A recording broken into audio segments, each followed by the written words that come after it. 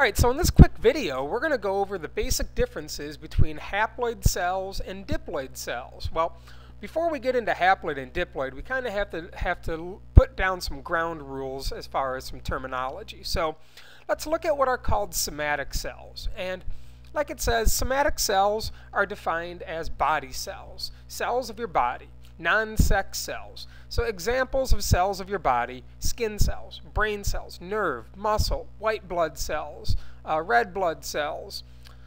And so these are what we mean by somatic cells. Uh, what we're going to do is we're going to zoom into this woman's shoulder right here. We're going to zoom on in and take a look at skin cells as an example. Let's go ahead and do that right now. And so when we zoom on in, we can see a, a, layer of skin. Well, you know, let's zoom on in even closer. Let's zoom on in at one particular cell, one particular skin cell. And so now we're looking at one particular skin cell. But you know what? Let's zoom on in even further. I just highlighted a nucleus of a skin cell. Let's zoom on into that nucleus and let's see what's inside the nucleus. And when we look inside of the nucleus of cells, whether it's a nerve cell, a skin cell, a brain cell, when we look inside the nucleus, we find chromosomes. And that's what these stained rainbow-shaped structures are. These are chromosomes. Now, when you arrange chromosomes into, a, uh, into an organized picture, you have what's called a karyotype. Now we're getting into what's a diploid cell. Notice how these chromosomes are arranged. There's two chromosome number 1s, and two chromosome 3s, and two chromosome 10s, and two chromosome 18s. Diploid cells are, are what, what the word diploid means is that they are cells where their chromosomes are paired. Notice how there's two chromosome 6s. The reason there's two chromosome 6s is we inherit one from each parent. The reason there's two chromosome 4s we inherit one chromosome 4 from our mother, one chromosome 4 from our father. So somatic body cells are also diploid. Diploid means they are, that they have paired chromosomes. And in humans, in humans, there are a total of 23 pairs of chromosomes for a total of 46 chromosomes. 23 pairs adds up to 46 total chromosomes. Diploid cells are also created by the cellular division process known as mitosis, if we just really briefly examine the stages of mitosis with this picture. Well, here we have the picture before mitosis, the stage before mitosis called interphase, and then the cells begin to go through mitosis, prophase, and now all the X-shaped chromosomes are in the middle of the picture, that's metaphase and now the red lines are being pulled apart. That is symbolic of anaphase. And notice how in telophase here, uh, the round nuclei are beginning to reform. And then finally, in cytokinesis, the cell splits into two.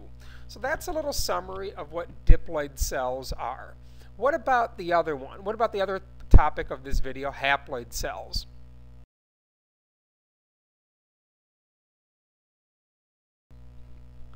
Well, again, before we go into haploid cells, we need to examine uh, some other terms first. We need to examine what are called gametes. Gametes, by definition, are what we call sex cells. Now, we're going to look at a, at a woman in this example, but keep in mind that men also have sex cells. So in our picture here, we have a woman's reproductive system, and what we're going to do is we're going to focus on her ovaries in just a moment. So gametes sperm cells and egg cells. But let's zoom on in. We're going to zoom on in in this example to, again, uh, to female gametes. But men, we also have gametes. Our sperm cells are housed inside of our testes. We're going to examine, let's zoom on into a female ovary right now. And when we examine, when we zoom on into a female ovary, uh, we see a bunch of cells, a bunch of of, of uh, egg cells inside the ovaries. Well, you know, let's zoom on into one single egg cell. And so here we have one single egg cell. And just like the last time, there's a nucleus to that egg cell. Let's zoom on in and take a look at the nucleus of the egg cell. So, so far everything pretty much looks the same inside of the nucleus of an egg cell, also inside the nucleus of a sperm cell. But inside the nucleus of an egg cell, we have a bunch of chromosomes. But watch this. Here's the difference.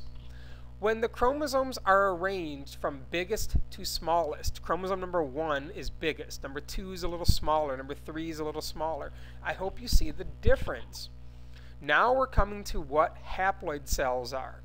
Haploid cells are cells such as the sperm and egg. Haploid cells are gametes. Haploid cells are cells with a single chromosome. There's only one chromosome number 1. There's only one chromosome 15. There's only one chromosome 17. So I hope you see the difference. The chromosomes are not paired as they were in the previous example. Haploid cells, if we look at humans, humans have a haploid chromosome number of 23.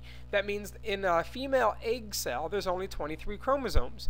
In a, in a male sperm cell, there's only 23 chromosomes. Remember, that's kind of the uh, uh, that's kind of different from what we said a moment ago. If cells are diploid in humans, if they're diploid, they're going to have a total of 46 chromosomes.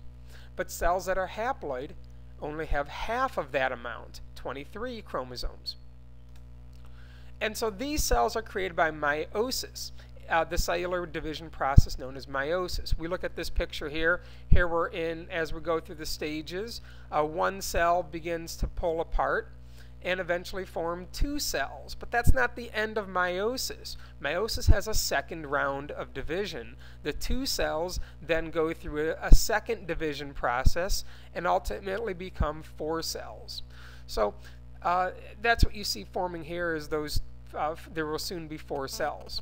So that's a little compare and contrast. I hope that's helpful.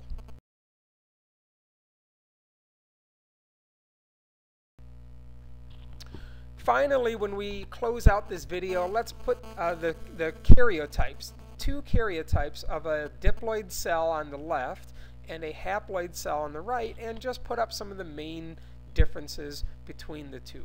So here is just a nice picture summary of the differences between diploid cells on the left and haploid cells on the right. I hope this video was, was helpful. Uh, go ahead and pause the video if you want to examine this picture in a little more detail.